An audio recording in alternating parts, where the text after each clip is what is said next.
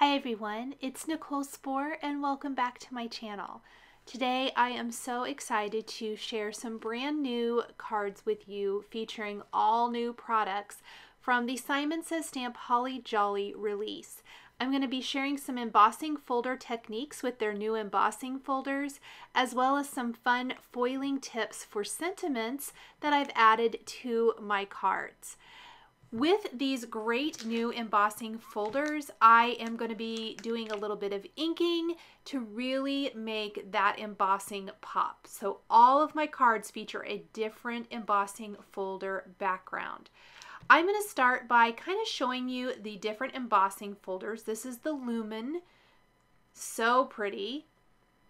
We have tumbled hexagons. The poinsettia oval, which I have to tell you was kind of a surprise. I didn't know that I'd love it as much as I did. I think this might be one of my favorite cards that I created today. This one and also the forest border, which I did think that would be my favorite just off the bat, mostly because I love anything that's a good scene builder and I think that forest border is a great scene builder. Then there is the beautiful fall fo foliage and then this great peony. That is the only one I didn't create a card with today. And then the all over floral um, field, which I did create a sympathy card with that. We are going to start with the forest border and I'm going to go ahead and place this in my embossing folder using some white cardstock and then we're going to run it through a Spellbinders Platinum die cutting machine. Now I think it really would have worked better if I had two metal shims, but I actually only have one. So I ran it through with one shim. And the impression isn't super great. In fact, I'm going to show it to you. It's not bad, but the trees in the background were not as crisp as I wanted. They're not going to be quite as deep and dark as the evergreens in the front, but I, I still want them to show up a little bit, and I just felt like they were still kind of flat. So a good tip for this, if you don't have two metal shims, I am going to actually take a sheet of cardstock, and this is thick cardstock. It's 110 pound weight. I'm going to use that as my second shim. And I used the whole sheet right here, but actually what I found worked even better later on was I cut this in half. So it's actually two cardstock shims, a metal shim, and then my embossing folder before the platform. Um, kind of have to play around with these to see what works in your die cutting machine, but look how great that looks right there. So I'm going to quickly just kind of show one of my favorite things to do with these embossing folders, and that's to take a flat inking tool. So the foam ink blending tools from Ranger are going to work great here. This is some iced spruce distress ink and we're going to add color only to the embossed areas or try to keep it mostly to the embossed areas. I'm using a pretty light hand. I'm pouncing off some of that ink onto my glass matte work surface before I take it to the cardstock. And the trees in the background, I purposely went super, super light there but the trees in the foreground are a little bit darker and I love how it gives you that winter scene. Next, with the Floral Field embossing folder, we're going to do much the same thing. So I went ahead and embossed that off camera. And then I'm going to take Wild Honey Distress Ink and we are going to ink up these beautiful flowers. Again, I'm pouncing off a lot of ink onto my work surface and then bringing the foam ink blending tool over to my cardstock, adding in that color. And you can see the embossed areas just grab that color beautifully and that definitely is darker. For this card, I didn't worry quite so much about inking in the background at, at all, um, simply because I wasn't trying to really give it that wintry forest feel. It's an all over floral design, but I am trying to keep it mostly on there. And then we're going to take some gathered twigs with a little tiny foam blending tool and I'm just going to very, very lightly add the ink to the flower centers. You actually don't have to use much pressure at all. There were a few areas that I got a little overzealous with my inking and so I tried to kind of get rid of that as much as possible with my ink blending tool, but I didn't worry about it a ton. This is pretty organic. It doesn't have to be perfect. We're not coloring, um, quote unquote. So I just tried to keep it as much to those flower centers as possible. I have to say the background here turned out really amazing. I love this so much. Um, another beautiful, beautiful embossing folder from Simon Says Stamp. And this can work for so many occasions. Really anything I'm using here today.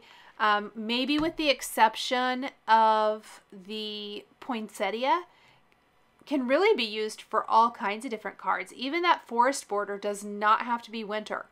Um, but very versatile, fantastic embossing folders. Embossing folders are really making a comeback. We're starting to see them um, all kind of all over the place. They're starting to pop up and I'm excited. I, for one, am excited. I loved embossing folders years ago. I had tons of them. I used them with my Cuttlebug. Does anyone remember? Maybe you still have a Cuttlebug. I know some of you have mentioned to me you still have it. Mine bit the dust uh, years ago, probably from overuse, but that's, you know, that's okay. Um, so I'm excited, and these new embossing folders are just so incredible. Okay, fall foliage. Oh my goodness, I love this one. Now I started off kind of trying to keep the ink to certain areas, and this is going to be one where we are using multiple colors of ink.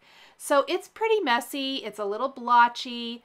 Don't worry about that. We're just going to keep layering on the ink. And for this one, it's totally fine if ink gets on the background. In fact, that kind of helps heighten and showcase the leaves a little bit. We are using um, Crackling Campfire, Wild Honey, Rusty Hinge, Peeled Paint, and Gathered Twigs Distress Inks. Not the oxides, just the distress inks here. So good. I did work a little bit slower, really worked on kind of just adding a little bits of color here and there to get that fall kind of look. I don't know what it is, but Simon has really had some awesome fall leaf products. And I know we're all ramping up and gearing up for holidays and holiday crafting and all of that good holiday stuff. But I am super excited to see that we're still featuring and um, including some of these fall kinds of products in the releases. I think this will make such a pretty Thanksgiving card and I'm really thrilled with how it turned out. So I'm just going to keep layering on that ink until we get everything covered. And then I'm even going to go back and do a little bit more blending. So there's a lot of blending going on here, but you will see in the finished card, again, those raised areas just kind of catch the ink and really deepen and darken and you get some incredible effects with this. The flowers the, that I just used, that would be another one, that uh, flower or floral field, pardon me. That would be one where I think it would look really cool if you did a whole bunch of different colors with that instead of all one and give it a completely different look. Okay, so this is pretty much the cards that I did where I embossed first on white cardstock and then I added ink. You even could use some lighter colors of cardstock and ink on top of it. That's another idea. Next, we're going to do a little bit more of what I call a messy technique. And I it's messy because I got ink kind of all over my hands, which I notice I do that a lot, so that's nothing really out of the normal, but we're going to actually be applying ink to the embossing folder and then running it through our die cutting machine and it's going to press the ink into or onto the cardstock. And the results for that are super cool as well. And I'm going to show you a couple of different ways that I did this for some card backgrounds. We're going to start with the Lumen. And we're going to start with some Cotton Candy Simon Says Stamp cardstock, and we're inking it up with Simon Says Stamp Hot Lips ink. So it's going to be kind of a tone on tone where it's kind of this darker pinky red color on pink cardstock for a very kind of modern looking holiday card is what this one's going to end up. Again, this could be anything. Now, I accidentally set my cardstock down and knew it wasn't centered, so I just popped it up really fast, and we're just going to flip it over. No one's going to know that we started there on the back and it didn't look good. When I run it through the machine, look at this. So anywhere I added the ink, it just pressed it right into the cardstock as it embossed it. So easy. Next, I'm going to apply some Audrey Blue ink to the Poinsettia Oval embossing folder. And you might be thinking blue for a poinsettia, but it, I promise it's going to look great. And I also added the ink to the flat side of this. And then I ran it through my die cutting machine. I'm going to do the same thing to the tumbled hexagons. We're going to apply the ink all over to this place some fog cardstock in here, and then run this through our die cutting machine.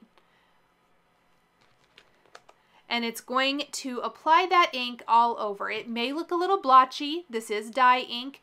That's totally okay. It will smooth out as that ink dries. So let's make sure we clean our embossing folders really good. And I'm going to show you all six of the backgrounds I created really quick and then we are going to make cards with all of them. I have my Minc machine. You just need a laminator here, and I'm going to warm it up. I also have lots of scraps of deco foil, and I'm going to use some toner sheets because I want to make my own foiled die cut shapes.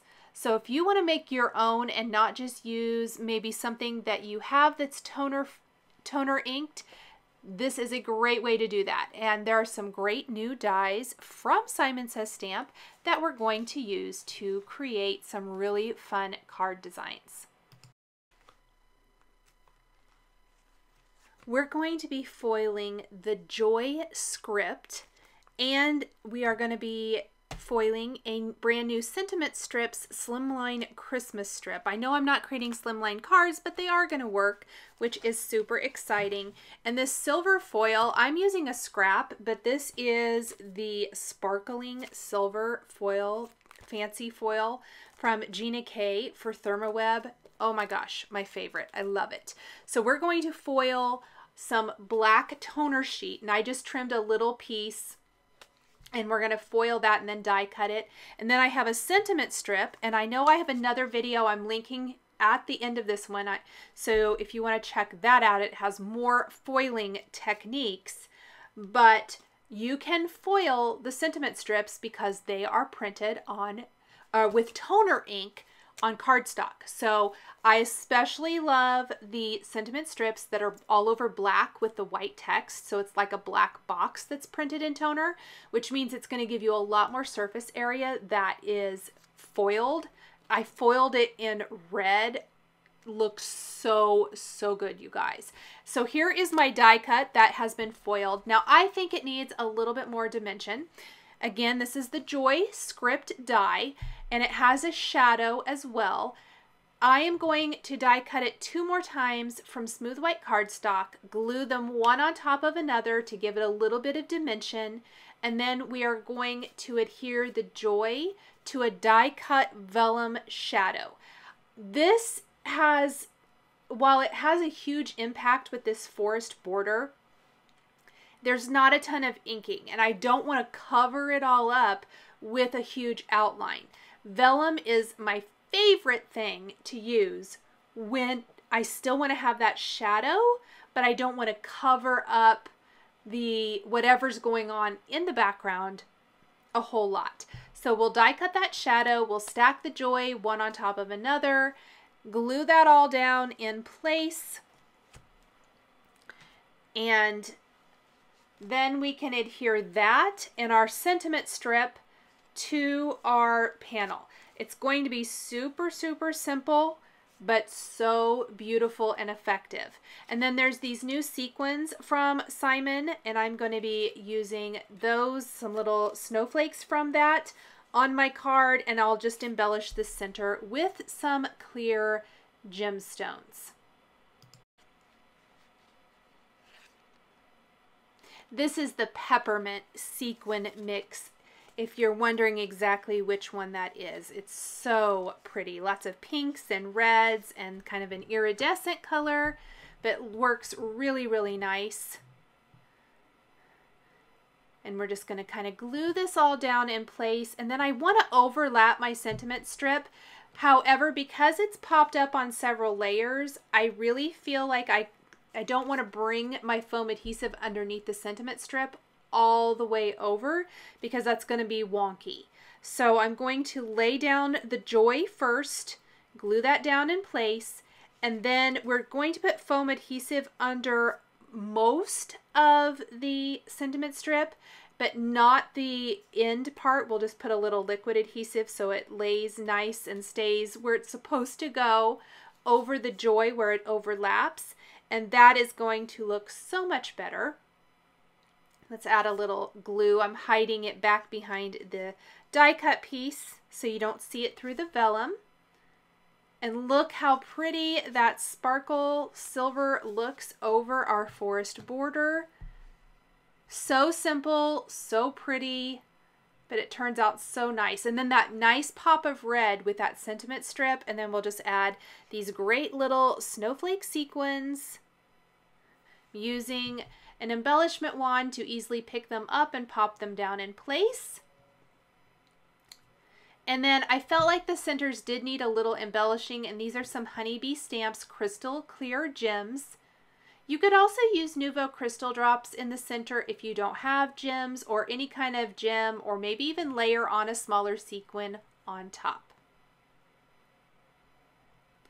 Then we're just going to take a side fold card base and place this on top and it completely covers the front. I didn't trim this background down at all. It measures four and a quarter by five and a half inches. So next up, let's create some more foiling for our cards. So I have that same piece of sparkling silver foil and we're actually going to die cut another Joy that's brand new for this Holly Jolly release. This is the Chunky Joy die. And I did, went ahead this time because I'm trying to use up the rest of this scrap of foil. I die cut the letters or that die from some of the toner sheet first and then I just laid it on my foil and ran it through the machine. I've got another piece of foil. This is an orange scrap. It's kind of a sparkly orange that I have. I'm going to die cut the Thankful die. That is not a new die from Simon Says Stamp, but I think it's a really good one. I did go have to pull a few things from my stash just so I could show some other kinds of cards and maybe not just holiday. We're going to foil the Thankful looks so, so good. And you still have so much foil left. I keep all these little pieces because you can see how you can use it so well. This with sympathy die also was a great one to foil. That's something else that was previously released. And we're just foiling these from all different kinds of scraps of foil. You can use anything you have there. Now I am going to take my hexagon background and also the lumen background and we're going to take the brand new Peace die and Chunky Merry die. I did go ahead and foil those off camera. It was just running die cut toner paper through my laminator to foil those pieces. And then for the Chunky Merry, I did die cut that from smooth white cardstock as well. And we're going to take the outline and glue that down right on the lumen background here.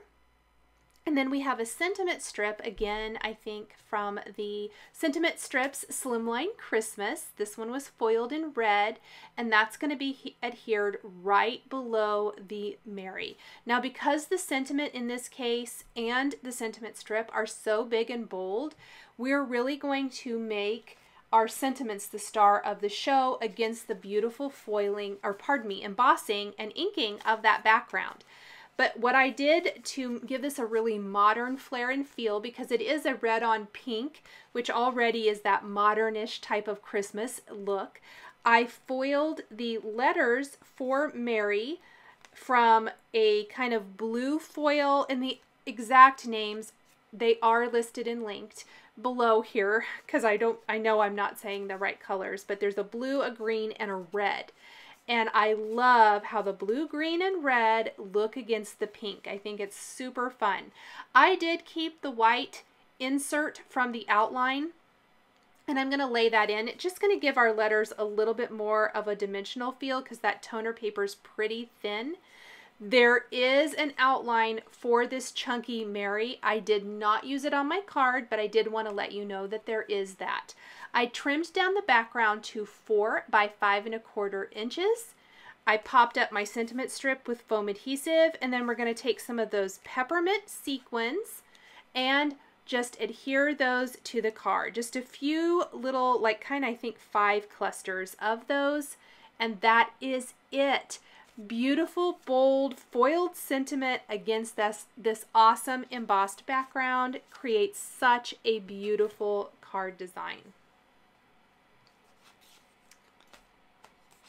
Now, the peace card, I am going to complete most of it here, but it kind of sat there and I just felt like it needed a little something. So at the end of the video, I left it kind of where I was working so I could think on it while I was designing the rest of the cards because we are going to add just a little um, holly and berry die cut image to this that I think is going to dress it up nice.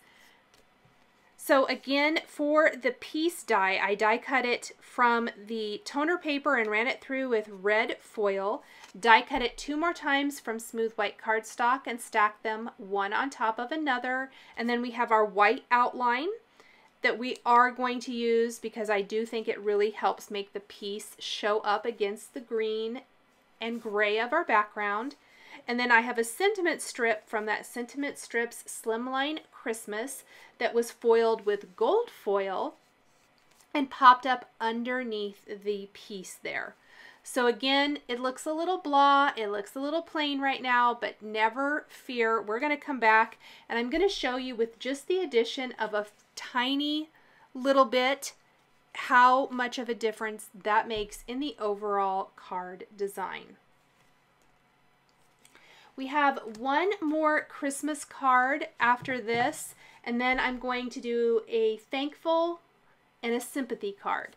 So this next card actually ended up being one of my favorites. I love how the inking looked and how it kept the poinsettia and the frame, frame oval kind of um, almost highlights it in a way, even though that's the actual cardstock color, is that nice, beautiful Simon Says stamped sea glass, and then the Audrey blue was inked when you ran it through. So it's so, so beautiful.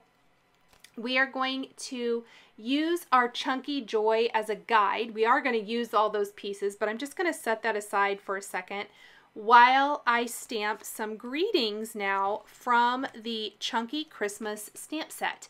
We are going to stamp wishing you peace and and then the rest of that will be Joy, our die cut. And then I'm going to stamp Merry Christmas underneath with clear embossing ink and heat emboss with white embossing powder. This is just going to round it out really nicely, I feel. And this is a card that, again, didn't require much. It is amazing what an embossing folder and a little bit of ink will do. All you need is some sentiments and you are done. And it wouldn't even have to be die cut. You could stamp, whatever you like to do there. So really, really fun. This is that Chunky Joy. Nice, big, bold. Absolutely love it. We are going to use the white inserts just like we did for the Chunky Merry card. And then we'll pop up our foiled joy greetings on top of this. And again, those were foiled with that awesome sparkling silver deco foil that I just can't get enough of eh, because it has all these little stars in it, which I think are really, really cute. Don't forget the little insert piece here to finish off the outline. I did trim this background down to four by five and a quarter inches as well, placed it on a white top fold card base, and added a little scattering of those snowflake sequins from the peppermint sequin mix. Our final two cards. I did foil all of the sentiments here, so the thankful one and the with sympathy. I showed those a little bit ago. Those were foiled with different colors of deco foil scraps I had. We're going to add these to the white outline. Again, I did die cut both sentiments from white cardstock as well. We're stacking it up so there's three layers for each and then placing it on the shadow background and then we're going to adhere those to our cards. Thankful has a vellum background with Sympathy has a white. And I don't know if you can tell, but with Sympathy is actually two different colors of foil. With is gold, our sentiment strip is gold, and then the Sympathy is a, I'm not sure what it is. It's a scrap I had left over from the um, November Simon Says Stamp card kit. It had deco foil in it. I did a whole video on that. I am linking to that to, at the end of this one. But this is just a scrap of foil from that. I hold on to all those little parts and pieces and it comes in so stinking handy. Now for the thankful card, I am going to stamp a little sentiment from the Simon Says Stamp Days of Thankful stamp set that says, for everything. So the whole greeting will be thankful for everything. We're going to stamp that with clear embossing ink, heat emboss with antique gold embossing powder, and then pop or die cut that with a nested banners Simon Says Stamp die. And then we're going to pop that up with foam adhesive. And then we've got our sentiment strips, Thinking of You, that we foiled with gold and I used I'll be praying for you that we're going to add underneath the with sympathy. So again, they don't need a whole lot. I will add some little uh, little one little clay heart to the sympathy card and a little trio to the thankful card. But other than that, you guys, that is it. These cards do not require tons and tons of embellishing because the beautiful embossing folder and ink really is our embellishment for all of these card designs today. So remember the peace card. I knew I needed something else for that. We are going to use the chunky trees and I'm going to use the little uh, berries and leaves image. I'm not going to use the shadow. We're just going to use the inlay. I'm going to die cut that from white and then also from red and green Lawn Fawn Holiday Sparkle cardstock. We're going to inlay all those little pieces. Just tuck that right there next to our sentiment. And then I did take both the peppermint and then the other, the green sequin mix that's also brand new for the Holly Jolly release. And we're going to layer a little trio of sequins to finish off the card. And it's amazing to me with what just that tiny little um, extra to this card, what a difference it makes for the finished design. I feel like it's a complete holiday card now and it turned out so great. One of the things about using foil is I don't think they translate super great in photos. First of all, they're really hard to photograph. And also in video because just the lights and the lights in my studio, just to make sure that my area is lit really well, doesn't always make for showing how beautiful these are in person. I am going to just kind of walk you through all six card designs here at the end of the video hopefully it gives you a little bit better idea of just how beautiful they are in real life. There is our With Sympathy card. Hopefully you can kind of see the texture there for that floral background. Oh, beautiful leaves, the poinsettia, Just so much fun. The lumen background, our forest border, of course, and then the hexagon. Thank you guys so much for joining me today for these six cards featuring embossing folder techniques using new products from the Simon Says Stamp Holly Jolly release.